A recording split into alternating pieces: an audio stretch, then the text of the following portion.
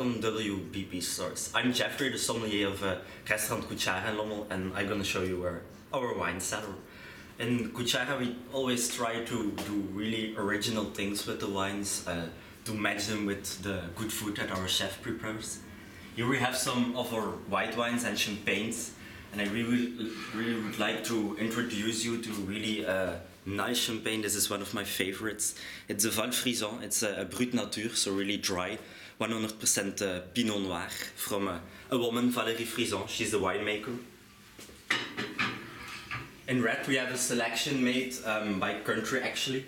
We have the Italian and Portuguese reds, some of the South African wines, uh, the Spanish wines, also some natural wines uh, on the top.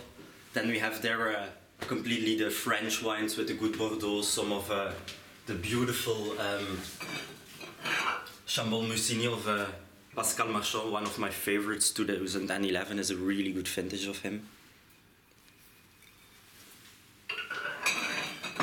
I also like some of the new world wines. I think it's uh, really nice to make a combination of, of the classic wines of the old world and some things of uh, the new world.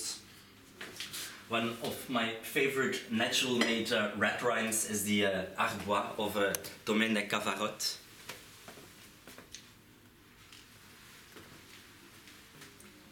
So, and uh, I hope you enjoyed our trip in the wine cellar and I hope to serve you some uh, good wines uh, in the future.